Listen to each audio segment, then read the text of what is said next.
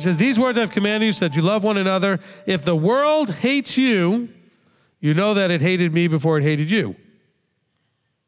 Now, remember, he's not saying if the world hates you in general. He's saying if through all of this you are becoming like me, of course, he's saying, look, if the world hates you, understand it hates you because you look like me now. You act like me, you sound like me, you think like me. Let this mind be in you, Philippians 2 5, that was in Messiah Yeshua. You look like me, you sound like me. Of course, it's going to hate you. It hated me. He says, if you were of the world, the world would love its own. And you all know that. Sure, when you were palling around with the world, everybody liked you, everything was great. But as soon as you decided to sound like Yeshua, all you know what broke loose. if you are of the world, the world would love its own. But because you are not of the world, but I chose you out of the world, for that reason the world hates you. Now remember, we talked about this in other teachings. I don't want to get all Kabbalistic on you, but the idea of that which is of the above and that which is of the below. We live in the below, but we're becoming not of the below. We're thinking like the above, we're acting like the above, we're becoming like those things that are above. That's the instruction that the Father gives how to become like Him. He's not in the below, He's in the above.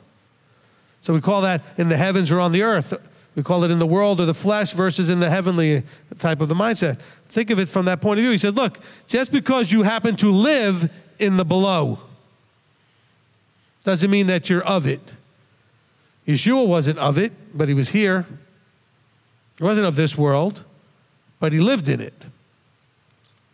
He says, If you were of the world, the world would love its own, but because you are not of the world, so we, we were of the world when, we, when they were loving us, but now because of being baptized and covenanting and burying the old man and coming out in newness of life and all the things that we did and making those declarations when we got mikvah, etc., we have chosen to not be of the world.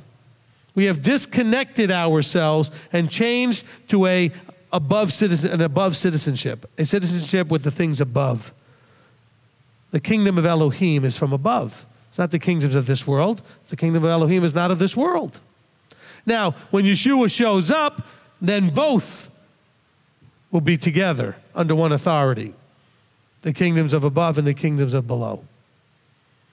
That's the tremendous event that we're looking forward to the joining together of those kingdoms. So he says, but because you are not of the world, but I chose you out of the world, so in his calling you, that brought you out of the world, the world's thinking, the world's mindset, the world's belief systems, all of the worldly things, for that reason the world hates you. Remember, now actually, give me a second. I'm just going to read you something. Seems like every week I find reasons to end up in um, Ephesians 2. But you know, in Ephesians 2, it talks about how, remember that you were once in the world. He says Gentiles in the flesh, but essentially you were once in the world.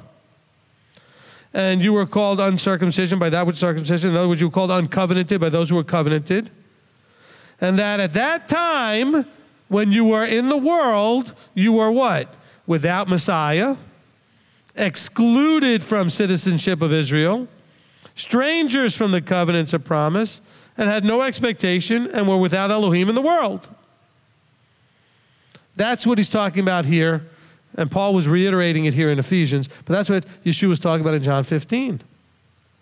You were with all of that. You were Gentiles, you were worldly, you were not covenanted, you had no expectation, no promises for you, without Elohim, and I called you out of that.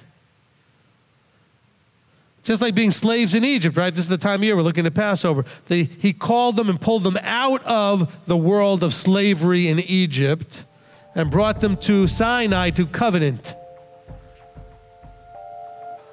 But remember, at the time that you were in the world, you were without Elohim, without Messiah, without promise, without hope, without anything. Excluded. You were excluded from, not just didn't have it because you didn't know about it, you were actually excluded from it.